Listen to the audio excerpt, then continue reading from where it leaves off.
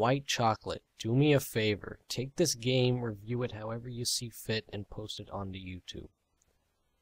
this is a horror survival first person shooter that places you in the shoes of a lone gunman tasked with collecting money off of dead zombie corpses. You've got a wide variety of guns, ranging from the shotgun to your revolver pistol. Choose from over two characters and start the rampage. Firstly, what you want to do is immediately turn off the music because the soundtrack to this game comprises of one song and it just repeats on loop for the entirety of your playthrough.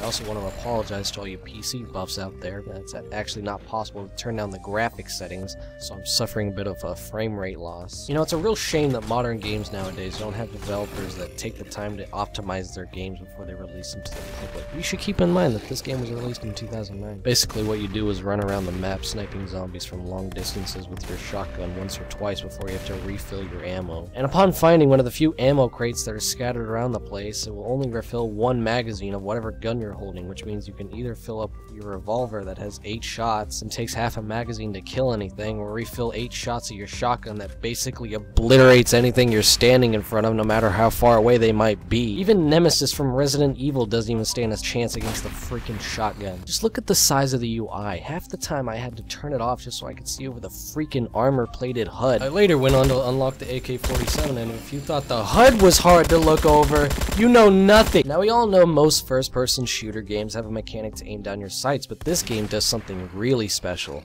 Instead of copying Call of Duty or any first-person game at all made after 2011, it makes the iron sights mechanic actually incredibly redundant, and the gun moves to the bottom middle of the screen and it doesn't change your reticle or anything, but just how accurate your gun shoots. The slaughtering floor is unique in the sense it doesn't just shove the gun in the bottom right hand corner of the screen, but by moving the gun to the middle, it shows us a whole new perspective. No other game has done- Oh shit, there is no way to lose this game. If you die, you just respawn at, with the same ammo that you died with, just a few short yards away.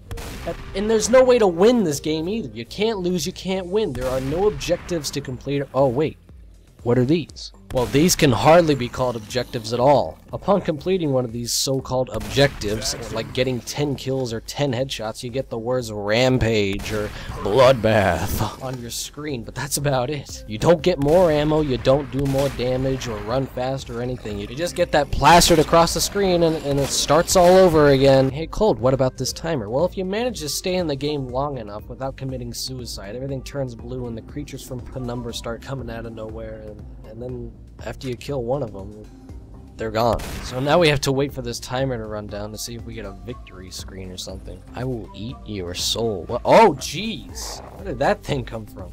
And why does he sound like one of those squid guys from Knights of the Old Republic? Alright, we only we only have 55 seconds left to go. I'm all out of ammo. I got 5% health. I just gotta get I just gotta excuse me, I just gotta get this ammo. Let me just get this ammo box, please. Let me I got it. I got No! You No! Are you serious? And I had a minute left to go. And the timer doesn't reset when you die, so there's literally no point to anything. I can't lose the game. I'm actually trying to find that big ass soul eating guy, but he must have all F4'd out of the game. I'm surprised he cared enough to launch the game in the first place. Whoa, bro, out of my way, dude. Whoa, bro, get strafed, bro. I only got eight more seconds till I win this, bro, and I beat this game, and I'm never ever coming back and, and playing you guys ever again. Whoa, bro, get strafed, bro, and I win and it's frozen. Uh, and the and the music's back. Oh, yeah, the game, the game just ended its own life.